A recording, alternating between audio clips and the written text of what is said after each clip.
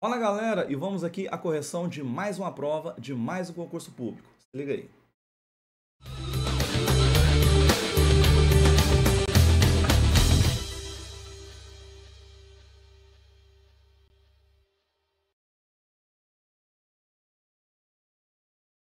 E sejam todos muito bem-vindos. Eu sou o professor Rodrigo Queiroz, trazendo aqui com vocês, galera, a correção de mais uma provinha. Mas antes disso, né, já vai lá e faz o quê?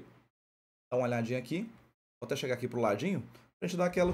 Olhadinha de perto no like, né? Dá o dedo no like, se inscreve no canal, ativa as notificações, compartilha com a galera e vamos pro nosso vídeo. Galera, trazendo aqui pedido de um dos nossos inscritos. Ele colocou lá, professor, boa noite.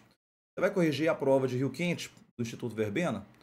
Seria muito bacana, caso sim. Fica aí o meu pedido, minha sugestão pelos vídeos. Então aqui estamos, né? Instituto Verbena, antigo centro de seleção da UFG provinha da município de Rio Quente. Como ele não especificou qual, vamos começar aqui pelo de ensino superior.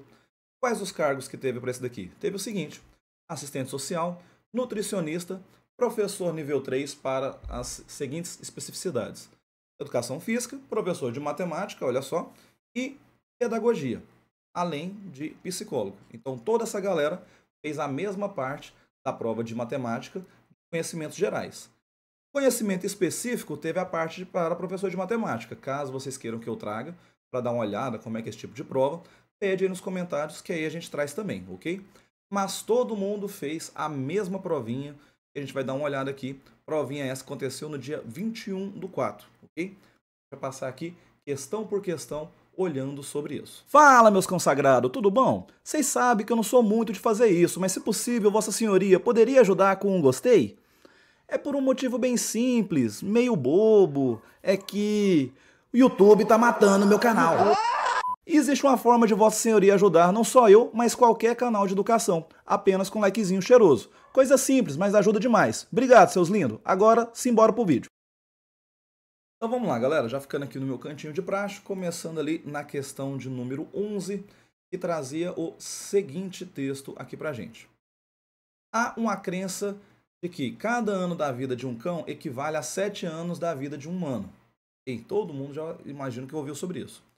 Entretanto, novas pesquisas mostram que a idade equivalente humana Y, com a idade humana, está chamando de Y, e a idade cronológica do cão, que é X, se relacionam de acordo com essa fórmula. Rosinha aqui. Beleza. De acordo com essas informações, a idade cronológica de um cão equivale à idade humana de 47 anos. É de. E ele pediu para usar o E, sendo 2,7. Então vamos lá. Vamos copiar ali a nossa função, né? y é igual a 16, ln de x mais 31. Lembrando, y é o que? É o valor da idade humana, que nesse caso ele falou que era 47. Então vou substituir. 47 é igual 16 que está multiplicando. Vamos lá. ln, galera, nada mais é do que o log na base e x. Certo? Beleza. Uh, mais 31. Vamos lá, vamos mexer com isso daqui. 31 que está mais, posso passar menos? Sim. Vamos lá. Eu vou ter log na base e, que eu já vou substituir por 2,7 de x é igual a 47 menos 31. E o 16 multiplicando aqui. Ok. Propriedade de logaritmo aplicando ali, né, galera? Então tá. 47 menos 31, eu tenho exatamente 16. Então, o log de x na base 2,7 subtraiu, deu 16. Aqui 16 estava multiplicando, vou passar dividindo né? Passo ele ali dividindo. Beleza. Então 16 dividido por 16 é 1. Log x 2,7 é igual a 1. Ok. Propriedade logaritmo, definição ali, né, galera? Até brinca ali, uma regrinha, que que, que isso aqui parece, né? Vamos falar do coraçãozinho para ficar bonitinho, né? Mas o que, que a gente vai ter? 2,7 elevado a 1 é igual a x. Só que todo número elevado a x é ele mesmo. Então é 2,7. Ok? Então, nosso gabaritos, olha lá, 2,7 e tem D. Então, o que, que isso quer dizer? Quando uh, um cão cronologicamente tem 2,7 anos, né, forma equivalente à idade humana, ele teria 47 anos, de verdade. Okay? Essa é a relação nós temos aí. Interessante, né? E aí? Coloca aí qual é a idade cronológica do doguinho e depois qual é a idade que ele teria em relação à idade humana aí nos comentários. Coloca aí pra gente. Saber se o bichinho tá velho, tá novo, como é que ele tá aí. Ok? Vamos lá? Questão de número 12 falava assim: Quantos são os anagramas da palavra Goiás que começam com a letra G? Então a palavra Goiás, olha lá, eu tenho quantas letras? Uma, duas, três, quatro, cinco letras. Cinco letras. Uma, duas, três, quatro, cinco. Obrigatoriamente eu quero que comece com a letra G. Então essa letra está fixa. O que, que eu vou ter? Só as demais letras mudando de posição, ok? Então se eram cinco letras, quantas opções sobram aqui? Eu tenho quatro opções, três, duas e uma opção, certo? Isso aqui, galera, não é a mesma coisa que 4 vezes 3 vezes 2 vezes 1. Olhando para o gabarito, ela não quer que resolva, eu quero que escreva isso como fatorial. Só que isso é a mesma coisa que 4 fatorial. E 4 fatorial, nosso gabaritos, letrinha B. B de bola, B de bosque, B de beleza. Ok? Então, uma questãozinha um pouco mais demorada, questão de logaritmo ali, duas propriedades, definições. E agora um anagrama, muito mais rápido para a gente resolver, né? Lembrando, provinha de nível superior, ok? Vamos para a próxima? Questãozinha 13, vou dar uma licença aqui dela, né? Para a gente ler. Falava assim: Observe a tabela a seguir. Tem aluno e horas estudadas. Esquece a tabela, esquece o quadro. Vamos dar uma lida na prova toda. A questão toda, aliás, né? Uma pesquisa sobre a quantidade de horas de estudo por semana de seis candidatos que estudaram uh, para o concurso da Prefeitura de Rio Quente, que era esse, né? Desde a publicação do edital até a prova, revelou os dados acima. E ele pediu o seguinte: qual é, respectivamente, ou seja, nessa ordem, ele quer que a gente encontre a média, a moda e a mediana das horas de estudos semanais. Então, beleza. Então, primeira coisa, vamos de média, né? Média geralmente é representado por um x barra. Lembrando, média é o que? A soma dos nossos valores. Okay? Soma todo mundo e divide pela quantidade. Então, não vou escrever essa soma, tá, galera? Eu já vou colocar ali o resultado da minha soma. Mas olha lá, com calma. 10 mais 8 eu tenho 18. 18 mais 12 a gente tem 30. Aí 30 mais 14 eu tenho 44. Com 40 nós vamos para 84. Com mais 14 eu tenho 98. Somei todo mundo. Vou dividir por 6, porque eu tenho 6 valores, certo? 98 dividido por 6, eu vou ter 18,33333 de uma periódica. Ok. Essa é a nossa média. Beleza. Depois ele vem e pede a moda. Lembrando, moda é o valor que mais se repete. Então, o único que repete aí é o 14. Então, a moda.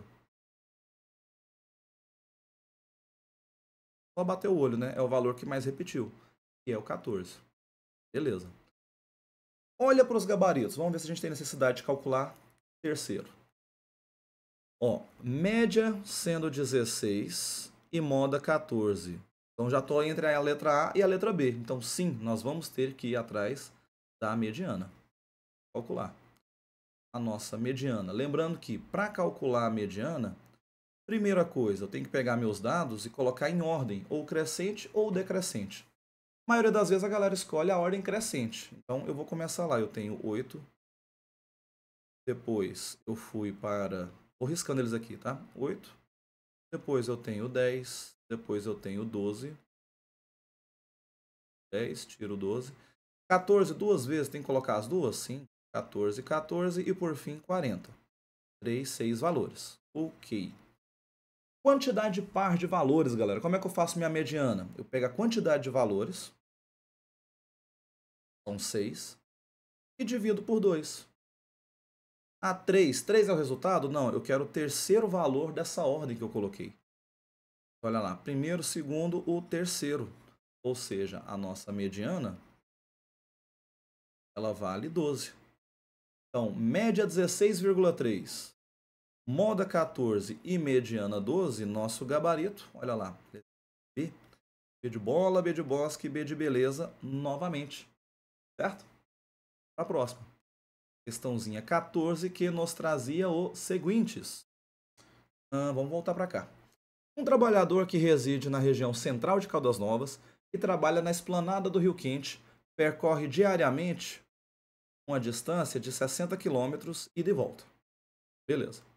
O tempo médio para fazer esse percurso de carro é de 58 minutos, carro, e de moto é 56 minutos. Moto um pouquinho mais rápido ali, né? A galera faz uma imprudência e outra no trânsito, aquela costuradinha padrão, beleza.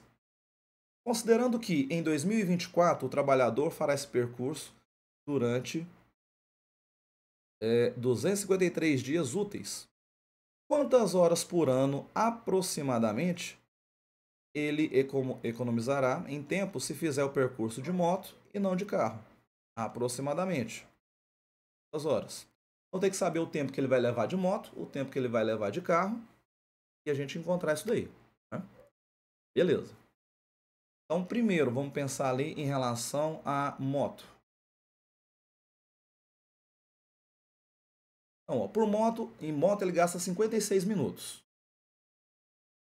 Se vai ser durante, é, durante 253 dias, eu não vou fazer 253 vezes 56 para eu saber o meu tempo da moto.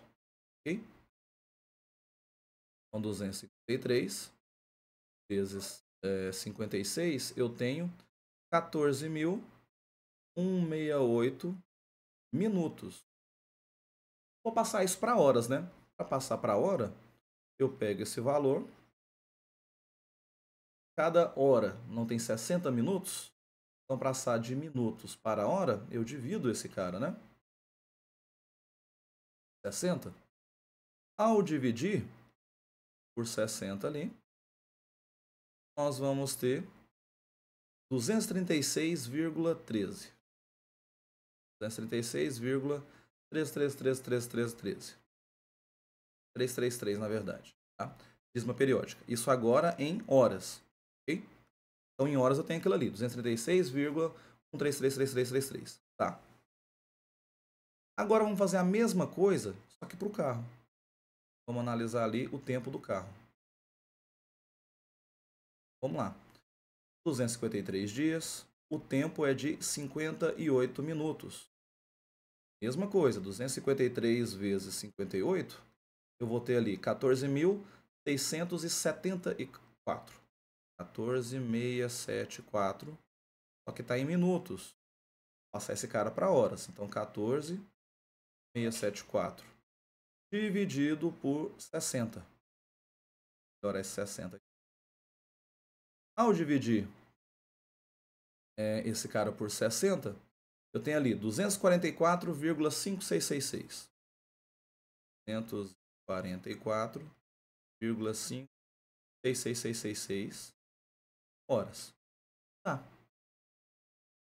Então, lógico que moto foi mais rápido, né? basta fazer a diferença, né? Então, 244. Vou nem escrever eles, tá, galera? Eu vou fazer o quê? O tempo do carro, que é o 244,5666, menos o tempo da moto, que é de 236,133333. Ao subtrair essa galera, nós temos o seguinte, aproximadamente, né?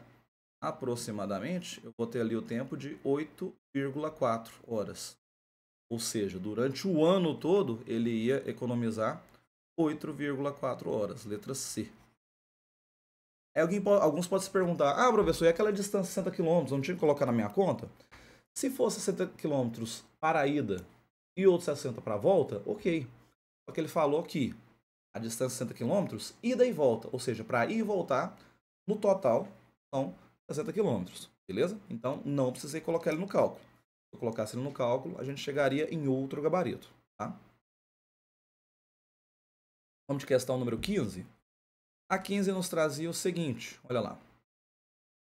Considere o seguinte processo de construção de quadrados. Primeiro quadrado tem lado L. Vou fazer aqui. Quadradinho, finge que deu um quadradinho certinho. Lado L. Beleza. O segundo quadrado tem lado L dividido 10. Então, o outro quadradinho, L dividido por 10. O terceiro quadrado é L dividido por 100. E assim por diante. Ele quer saber quanto vale a soma infinita das áreas desses quadrados. Ou seja, aqui eu vou ter infinitos quadrados. Galera, muito incomum cair isso daqui nos concursos, né? Porque se ele está falando de soma infinita, sem nem testar essa minha sequência, ela é uma PG. Por quê? Só a PG trabalha com a ideia de soma infinita. Que inclusive esse trabalho no ensino básico, no ensino médio, é uma aproximação grotesca, né? Mas qual que é a nossa fórmula da soma da PG infinita? Ele é A1 dividido por 1 menos Q. Lembrando que essa razão tem que estar variando entre menos 1 e 1. Como que eu acho a razão em uma é, PG? Só pegar um termo e dividir pelo anterior, tanto faz a ordem.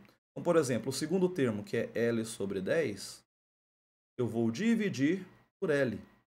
É a mesma coisa que L sobre 1, né? Divisão de fração, repete o primeiro e multiplica pelo inverso do segundo sobre L. Então, L vezes 1 é L, 10 vezes L, 10L. Significa, isso é 1 sobre 10. Que aí, se quiser dividir, né, para facilitar nossas continhas ali, 1 dividido por 10 é 0,1. Ok? Tá. Então, agora vamos fazer a soma dessa PG por essa aproximação aqui, né, galera? Por quê? Quem estudou mais a fundo aí mais à frente sabe que para fazer essa soma legítima, eu preciso ali aplicar um limite, né? São coisas já do ensino superior, do estudo. Então, A1, meu primeiro termo é L, dividido por 1 menos a razão que é 0,1. Então, a minha soma vai ser o quê? Ele vai ser L dividido por 1 menos 0,1. Eu não vou ficar com 0,9? Isso. 0,9. 0,9, já que os nossos resultados estão em fração, né? 0,9 em fração, galera, é a mesma coisa, vamos anotar aqui do ladinho, é a mesma coisa que 9 sobre 10. De novo, divisão de frações. Então, a minha soma vai ser L vezes o inverso desse, 10 sobre 9. Então, a nossa soma deveria ser 10L sobre 9. Ok? Aí agora a gente vem e olha para os gabaritos. 10L sobre 9. Temos soma? Não temos, né? Olha lá. Erro de digitação, galera. Em todos aqui ele lançou um L ao quadrado e não tem. Né? Posso até calcular, vou colocar aqui nessa tela aqui, vou até calcular ali em cima como teste, olha lá. O terceiro termo que era L sobre 100 vezes o inverso do outro, 10 sobre L. De novo, o L vai simplificar. E 10 dividido por 100 também é 0,1. Então, erro de digitação. Uma questão diferente, né? porque o pessoal não cobra a questão de soma infinita de PG, até porque, é igual eu falei, ela é uma aproximação bem grotesca daquilo ali. Mas o nosso resultado, ele queria que fosse letra B, né? 10 sobre 9, L. Só que como tem aquele L ao quadrado, não tem gabarito, esse aqui é o nosso resultado, ele está certo, está bonitinho. Então, questão que cabia recurso e questãozinha aí anulada.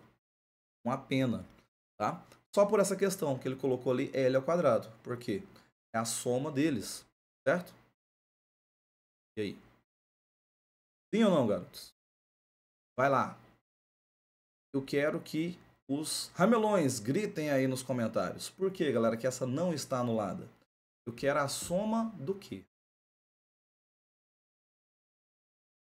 Por que nossa questão não está certa, galera? Eu quero a soma, olha lá, das áreas. Né? Então tem que ter a área de cada um. Qual que é a área desse cara? L ao quadrado. Qual que é a área do outro? L ao quadrado vezes L, ao, L sobre 10 vezes L sobre 10. L ao quadrado sobre 100. O outro, qual que seria a área? L sobre 100 vezes L sobre 100.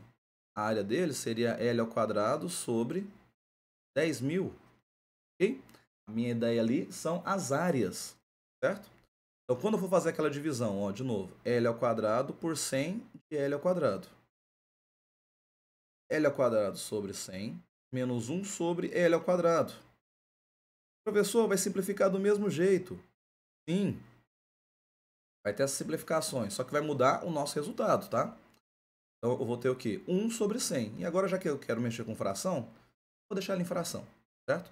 A gente corrigir aqui nossa questão, eu já vou resolvê-la no caminho das frações. Então, ali eu vou ter 1 sobre 100. Vai ser L dividido por MMC, né, galera? MMC de 100 e 1 é o próprio 100. Vou fazer até aqui do ladinho na frente. 100 dividido por 1 é 100 vezes 1, 100. Menos 100 dividido por 100 é 1. Então eu vou ter 99 sobre 100. Agora sim, multiplica pelo inverso. 100L sobre 99. De novo. É, L ao quadrado, né? Porque meu A1, meu primeiro valor, é L ao quadrado. 100L ao quadrado sobre 99. Sim, temos, olha lá, 100L ao quadrado sobre 99. Gabarito, letrinha C. C de certo, C de concurseiro, C de concursado. Ok? Então, cuidado na leitura, pessoal. Porque se eu faço essa soma infinita, como eu escrevi, só que em relação aos lados, daria errado. Agora, como ele falou em relação às áreas, sim, agora correto. Inclusive mudava o item. Bom, volta, veja novamente cuidado nas interpretações. Sempre pontuo isso com vocês. Olha lá. Próxima questãozinha, deixa eu ficar aqui do lado para a nossa leitura. Questão de número 16, que fala assim: Observe a tabela. Não, não quero, vou ler tudo. A tabela acima apresenta a evolução do PIB, né, Produto Interno Brasileiro, de Rio Quente no período. Não, é Produto Interno Bruto, né? Perdão, Produto Interno Bruto. Fugir da geografia faz tempo. De Rio Quente no período de 2012 a 2021.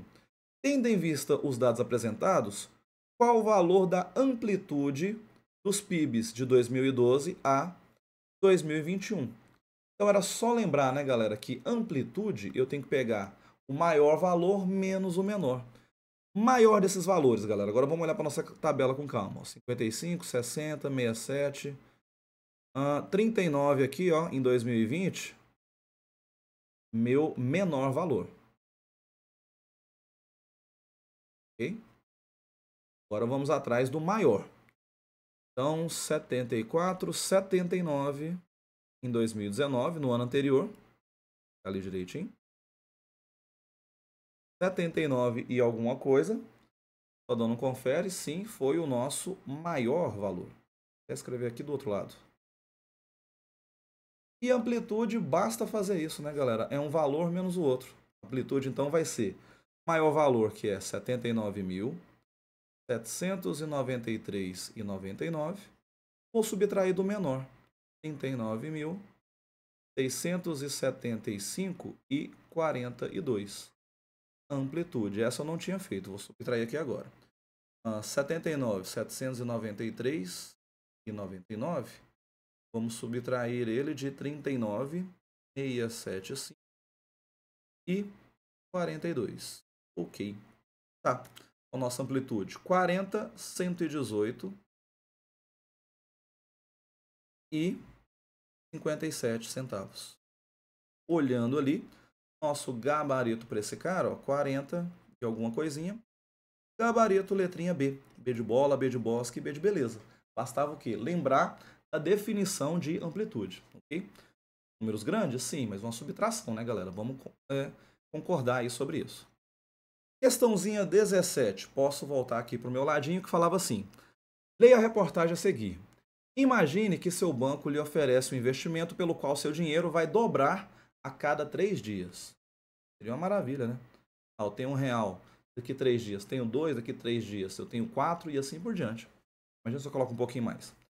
Se você investir apenas um real hoje, é verdade, ó. Quanto tempo levará para se tornar um milionário? Quanto tempo eu vou ser milionário, né? O meu resultado ali vai estar tá sendo, ou seja, para ser milionário eu tenho que ter o quê? Quanto de dinheiro? Né?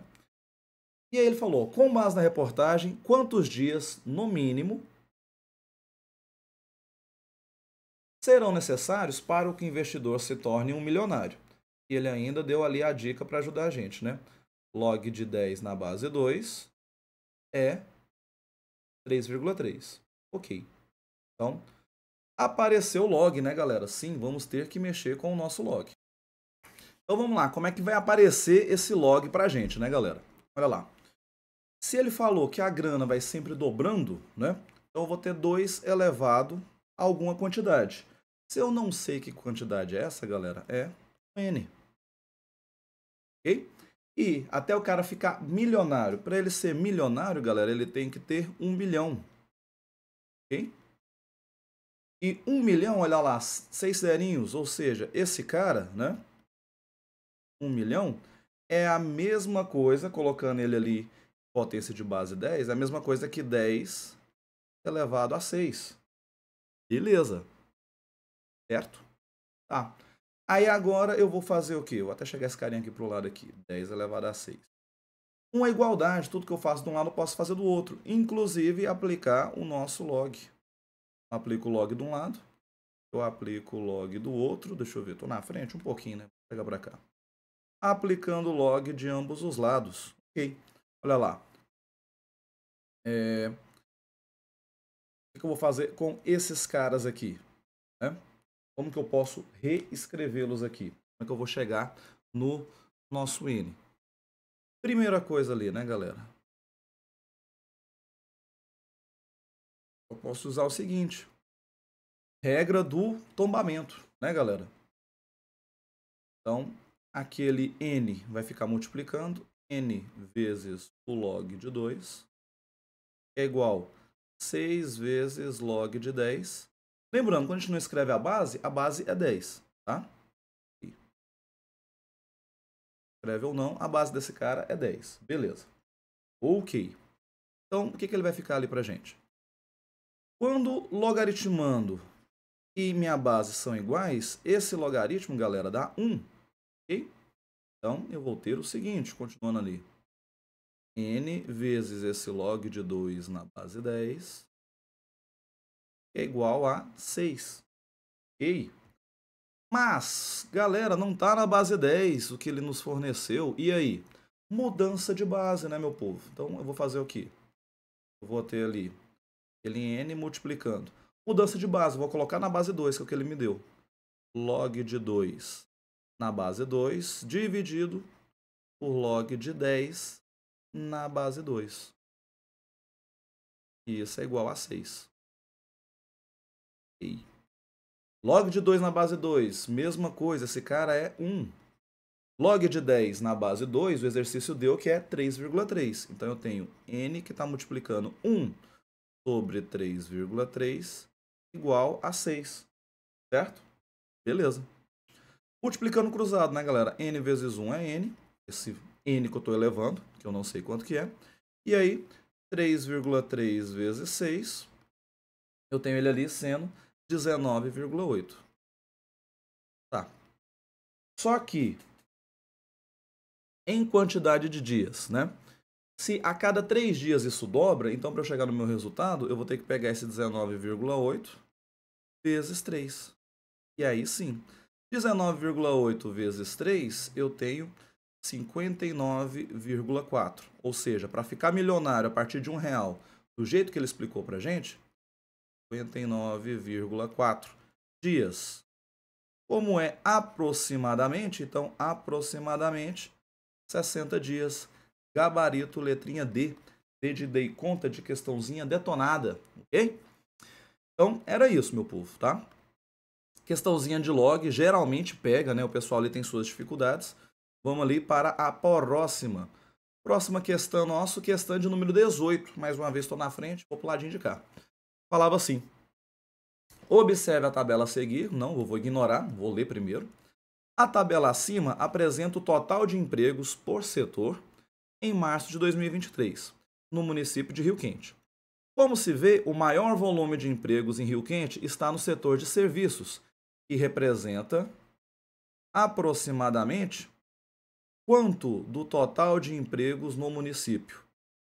E aí nossas respostas estão em porcentagem, né, galera? Então, meu total, eu vou fazer o quê? Eu vou somar meus valores, ok? Então, pegando lá na tabela.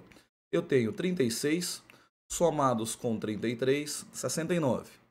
Mais 176 mais 2.721. É, Essa soma eu não tinha feito, estou colocando aqui agora, tá? Mais 25 mais 2.185 com 455, 43 e 13.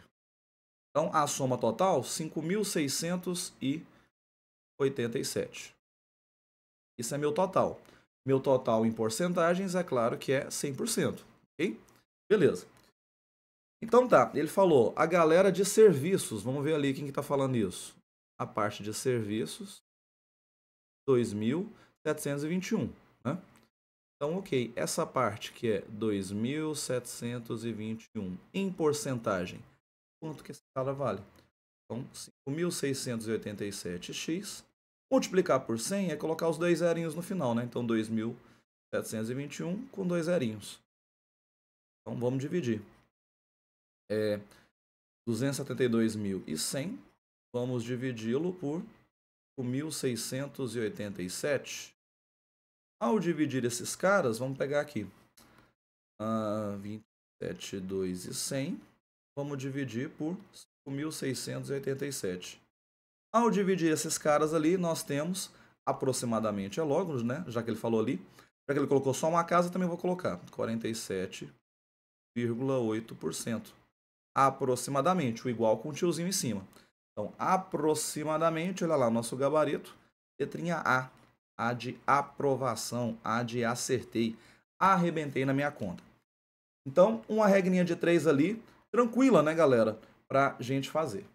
Questãozinha de número 19 que trazia o seguinte pra gente. Mas antes da questão, aquele esquema, né, galera? Passando aqui do ladinho, a gente tem aquele aviso que você pode ver aqui embaixo o nosso botão do Valeu e do Seja Membro. Valeu a partir de R$ reais faz ali a sua contribuição financeira para o nosso canal, ok? Estou trazendo aqui conteúdo de qualidade e de forma gratuita para vocês. Uh, questãozinha 19, galera, que falava o seguinte, olha lá. Uh, considere a tabela, vamos ignorá-la por enquanto. O comprimento em centímetro de uma tilápia em função do tempo de vida em meses é, está apresentado na tabela acima. Supondo que o comprimento em função do tempo seja regido por uma função afim, ou seja, uma função do primeiro grau. Ele perguntou qual é aproximadamente o comprimento esperado para o quarto mês de vida dessa tilápia.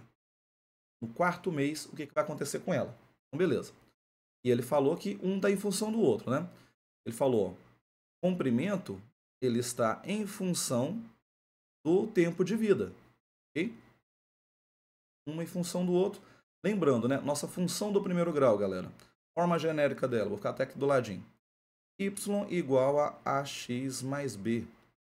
Nossa funçãozinha afim, função do primeiro grau genérica é assim, aonde y está em função de x. Né? Então, quem é quem lá em cima? Ele falou que o comprimento está em função do tempo. Então, eu vou substituir aqueles valores, ok? Ou seja, quando o meu x vale 1, o comprimento é 15. 15 é igual a a vezes 1 mais b. Ou seja, a vezes 1 é a. Então, a mais b é igual a 15. Guarda essa informação. Vou substituir outros os outros valores.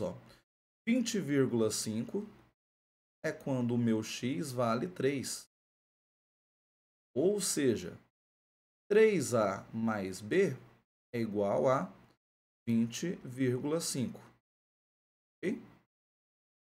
Beleza. Duas equações, duas variáveis. Temos o que, galerinha? Um sistema para brigar com ele, ok? Nesse sistema, galera, pode fazer por substituição, pode fazer por adição, comparação, regra de Kramer, o caminho que você decidir, tá? Vou fazer o seguinte, eu vou pegar essa primeira linha e vou multiplicar por menos 1. Então eu vou ter menos A menos B igual a menos 15. E 3A mais B, 20,5. Por quê? Agora, quando eu somar minhas duas linhas, menos B mais B vai embora. Menos A mais 3A, 2A. E é, 20,5 ao subtrair 15, nós sobramos ali com 5,5, né? 5,5. Então, 5,5 dividido por 2, eu vou ter meu valor de A. Tá. 5,5 dividido por 2, eu tenho 2,75. Esse é o valor de A.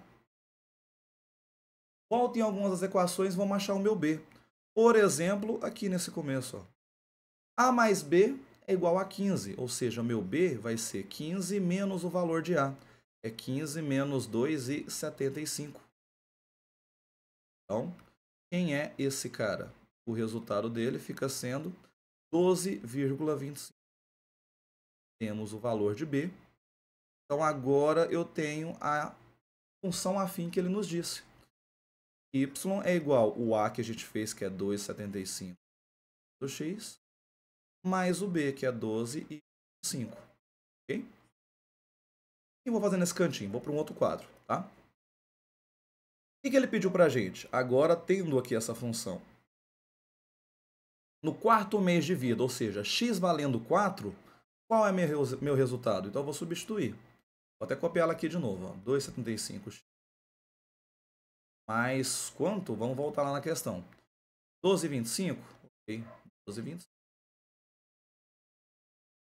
Então, no lugar do x, eu vou colocar 4, porque é no quarto mês. 235 vezes 4 mais 12 e 25. E o y vai ser 275 vezes 4, nós temos 11. E 11 mais 12 e 25, nosso y fica sendo uh, 23 e 25.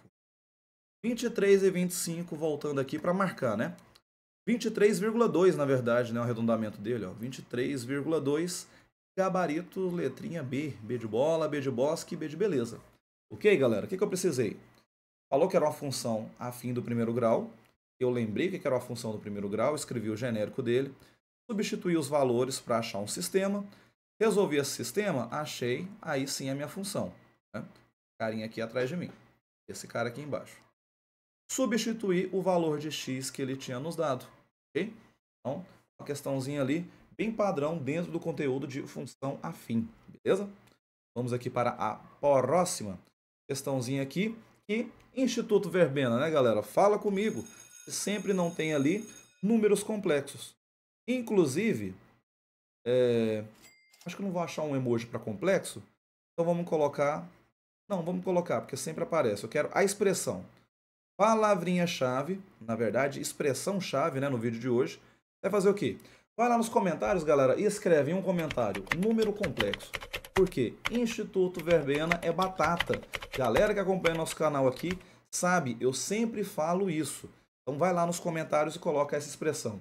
Número complexo. Eu vou procurar um emoji que talvez combine com isso daí ou não, para colocar para a galera, ok? E lembrando, todo comentário seu é super bem-vindo sempre, né?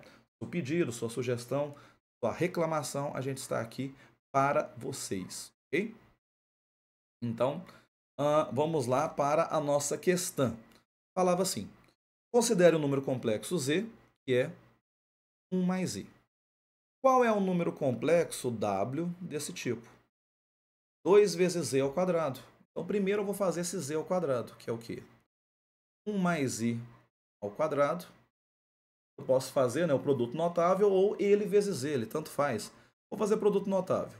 1 ao quadrado mais duas vezes o primeiro vezes o segundo, mais o segundo ao quadrado. Ok? Então, 1 ao quadrado é 1, mais 2i. Só que eu tenho que lembrar o seguinte, né? i ao quadrado dentro de números complexos, isso vale menos 1. Definição de números complexos, ok? Beleza. 1 menos 1 vai embora, ou seja, ele ao quadrado sobrou apenas 2i. Então, desse 2i, agora eu vou multiplicar por 2. Então, 2 vezes 2i, nós temos 4i. Como gabarito, 4i, letrinha C. C de concurseiro, C de concursado, ok? E aqui temos nossa última questãozinha da prova da Prefeitura de Rio Quente, nível superior, passando aqui do ladinho, né, galera? Nossas redes sociais aqui na parte de baixo. Compartilha, se inscreve, clica no botão Seja Membro aqui, pessoal. A partir de R$ 1,99 você começa a ter acesso ali a níveis diferentes, inclusive acesso antecipado a vídeos. A galera só vai assistir depois, você já tem todos liberados ali. Todos os vídeos que eu já deixei gravado você pode assistir antecipadamente, beleza? Vejo vocês no próximo vídeo, numa próxima aula. Até lá!